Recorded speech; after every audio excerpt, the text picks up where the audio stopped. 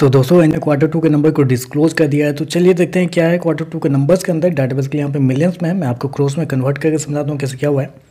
तो देखिए, पिछले क्वार्टर की बात करें तो पिछले क्वार्टर में कंपनी 1405 करोड़ के आसपास का रिवेन्यू जनरेट किया था ऑपरेशन के थ्रू पिछले साल देखें तो पिछले साल एक हज़ार सैंतालीस करोड़ के आसपास जबकि अभी देखें तो बढ़ के एक हज़ार पाँच सौ चौदह करोड़ कंपनी का जो रेवेन्यू है, वो आपको जाता हुआ देखने को मिल रहा है। तो साल दर साल देखें तो साल दर साल कंपनी के रेवेन्यू के अंदर एक बड़ी तेज़ी आपको देखने को मिली। लगभग आप बोल सकते हो वहाँ पे फोर्टी एट परसेंट के आसपास का जंप है कंपनी के रेवेन्यू के अंदर। साल दर साल वहीं अगर क्वार्टरली बेसिस पे जाते हैं तो क्वार्टरली बेसिस पे भी कंपनी का जो रेवेन्यू है, उसके अंदर एक तेज़ी आपको देखने को वहाँ पे देखें तो लगभग बोल सकते हैं आप आठ परसेंट के आसपास का जंप आपको देखने को तो क्वार्टर क्वार्टर साल दर साल कंपनी का जो रेवेन्यू है, वो आपको बढ़ता हुआ देखने को मिला है। जबकि मैं आपको बताना चाहूँगा, इस क्वार्टर में कंपनी का रेवेन्यू क्वार्टरली बेसिस पे आपको बढ़ता हुआ देखने को मिला जबकि मार्केट का अनुमान था कि इस क्वार्टर में क्वार्टरली बेसिस पे कंपनी का जो रेवेन्यू है, वो थोड़ा सा स्ट्रगल करता हुआ आपको देखने को मिल सकता है। जी हाँ मार्केट का अनुमान था इस क्वार्टर में कंपनी का जो रेवेन्यू है, वो लगभग तेरह सौ छियालीस करोड़ के आसपास का मार्केट का अनुमान था कि इस क्वार्टर में कंपनी का रेवेन्यू आपको आता हुआ देखने को मिलेगा, लेकिन यहाँ पे देखें तो मार्केट के अनुमान से कंपनी का रेवेन्यू आपको बेहतर आपको देखने को मिला, जो कि एक बहुत बड़ा सरप्राइज़ है।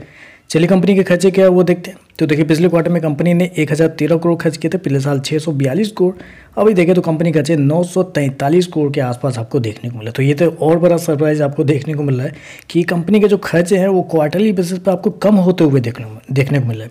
मैंने अभी क्या बताया आपको कि क्वार्टरली बेसिस पे कंपनी का रेवेन्यू आठ के आसपास बढ़ता हुआ देखने को मिला है। जब कंपनी का रेवेन्यू बढ़ रहा है तो कंपनी के खर्चे भी बढ़ने चाहिए थे, लेकिन यहाँ पर देखें तो कंपनी के खर्चे क्वार्टरली बेसिस पे आपको कम होते हुए देखने को मिले, जो कि बहुत अच्छी बात है। कंपनी ने खर्चे पर कंट्रोल किया है, जो कि यहाँ पर क्लियरली दिख रहा है कि अदर एक्सपेंस में कंपनी ने खर्चे पर कंट्रोल किया है क्वार्टरली बेसिस पे। इसका मतलब है कि कंपनी थोड़े ऐड जो है, वो कम चला रही है, जिसकी वजह से कंपनी के पैसे थोड़े बचे हैं इस क्वार्टर में। चलिए कंपनी का नेट प्रॉफिट क्या निकलता है वो देखते हैं।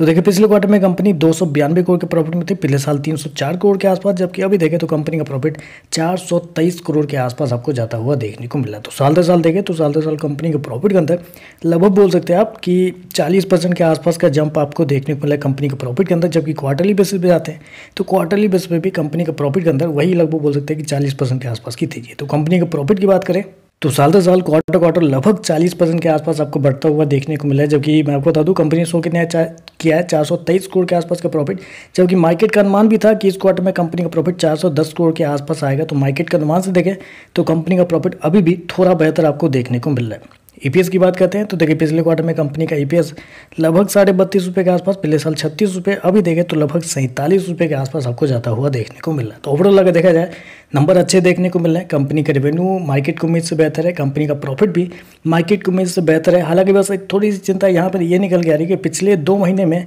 शेयर लगभग दो हज़ार से अट्ठाईस के आसपास आता हुआ देखने मिला। तो लगभग बोल सकते चालीस परसेंट के आसपास का रिटर्न पिछले दो महीने में शेयर बना के दे चुका है। तो कहीं प्रॉफिट बुकिंग भी आ सकती है, इस पर इसका इस बात पर भी थोड़ा आप ध्यान ज़रूर रखिएगा।